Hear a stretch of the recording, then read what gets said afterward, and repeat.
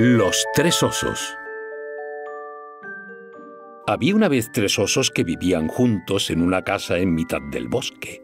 Uno de ellos era un oso muy, muy pequeño. El segundo era un oso de tamaño mediano. Y el tercero era un enorme oso. Cada uno de ellos tenía una escudilla para su sopa, una escudilla pequeña para el oso pequeñito, una escudilla mediana para el oso mediano y una escudilla grandísima para el enorme, enorme oso. Y cada uno tenía una silla para sentarse, una silla pequeña para el oso pequeñito, una silla mediana para el oso mediano y una silla muy grande para el oso grande. Y tenían también cada uno una cama para acostarse, una cama grandísima para el oso grande, una cama mediana para el oso mediano y una cama pequeñita, pequeñita para el pequeño, pequeñísimo oso. Un día, después de haber cocido sus sopas y haberlas vertido en sus escudillas, fueron a dar un paseo por el bosque mientras la sopa se enfriaba. Era una sopa buenísima. Y mientras se paseaban llegó a la casa una niña llamada Ricitos de Oro. No conocía aquel sitio ni había visto jamás la casita de los osos. Era una casita tan graciosa que olvidó todas las reglas que su mamá les recordaba siempre Miró por la ventana, después por el ojo de la cerradura, y viendo que no había nadie en la habitación, abrió la puerta y entró.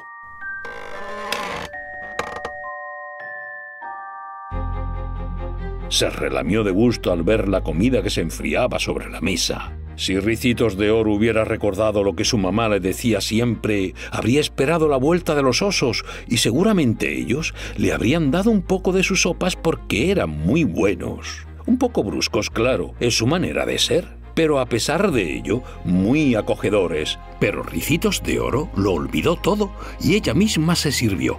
Primero la sopa del oso grande, pero estaba demasiado caliente. Después probó la sopa del oso mediano, pero estaba demasiado fría.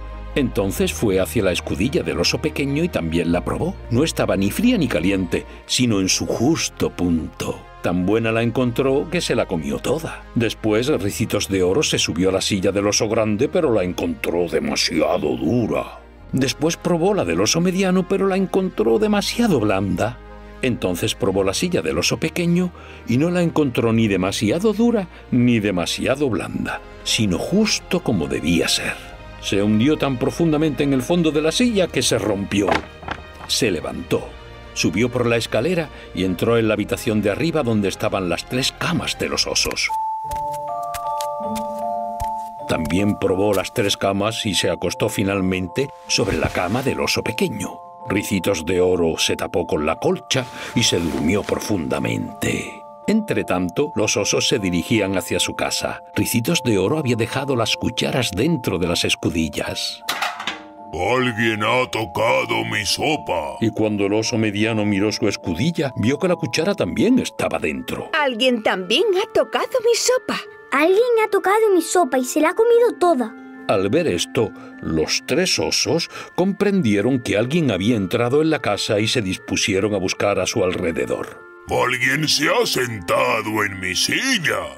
Alguien se ha sentado en mi silla. Alguien se ha sentado en mi silla y la ha roto completamente. ¡Oh! Entonces, al ver los osos que allí no encontraban nada, decidieron subir a la habitación de arriba. Pero Ricitos de Oro había cambiado de lugar la almohada y el edredón. Alguien se ha acostado en mi cama. Alguien se ha acostado en mi cama. Y cuando el pequeño, pequeñísimo oso fue a mirar la suya, encontró que la almohada estaba en su sitio que el edredón estaba en su sitio y sobre la almohada vio algo dorado. Era el pelo de Ricitos de Oro. Alguien se ha acostado en mi cama y todavía está en ella. Ricitos de Oro había oído durante su sueño el bozarrón del oso grande, pero creyó que era un trueno.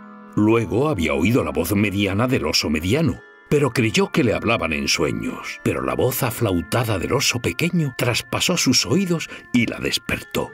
Se sentó sobre la cama y cuando vio los tres osos a un lado, saltó por el otro y corrió hacia la ventana. La ventana estaba abierta y Ricitos de Oro saltó por ella y corrió a casa con su mamá tan deprisa como sus piernas pudieron llevarla.